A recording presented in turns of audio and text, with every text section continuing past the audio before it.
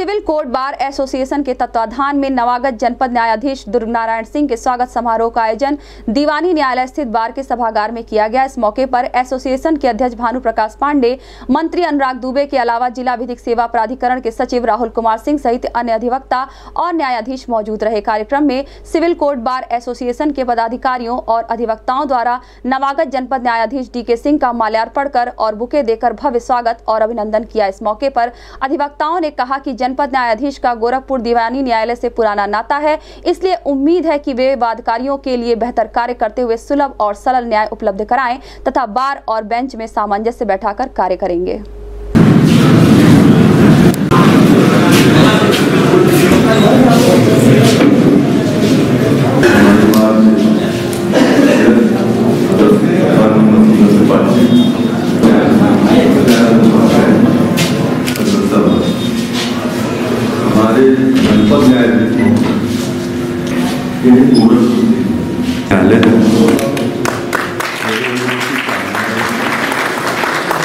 किसी भी कार्यक्रम के शुरुआत सर्वप्रथम माल्यार्पण का कार्यक्रम।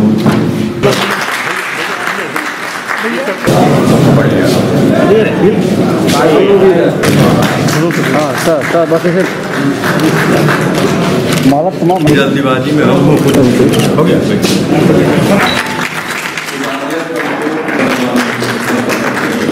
अशोक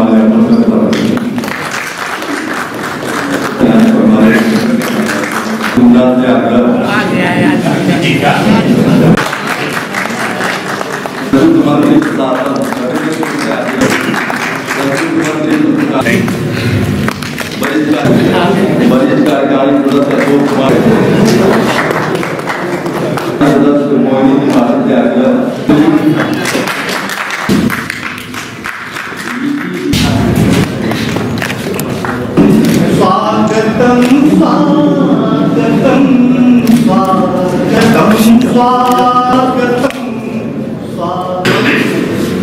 ये मेरा सौभाग्य था कि जब मैं 2000 में अध्यक्ष था उस समय आप पहले पहले आप बार में आप आए थे तो मैं बार का अध्यक्ष था। बार की परंपराओं से यहाँ के लोगों से आप पूरा अवगत हैं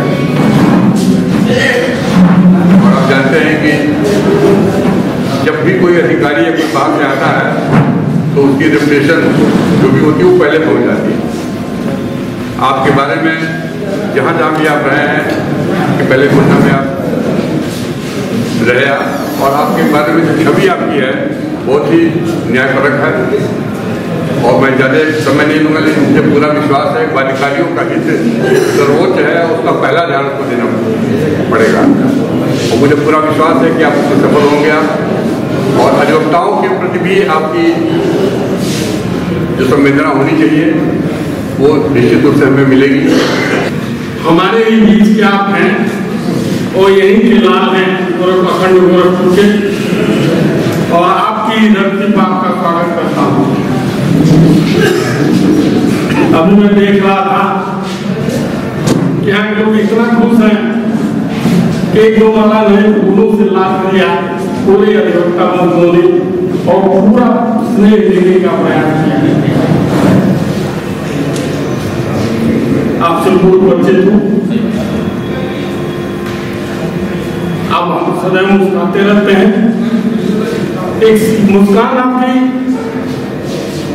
एक मुस्कान आपकी बहुत लोगों को खुशियाँ दे सकती है बहुत लोगों को मुस्कान दे सकती है। हम आशा करते हैं कि आपके कार्यकाल में हर चेहरे मुस्कुराते रहेंगे एक निवेदन ज़रूर है। कि कुछ काम ऐसा हो कि आधिया भी चलती रहे और दिया भी न बुझे, ये लेकर के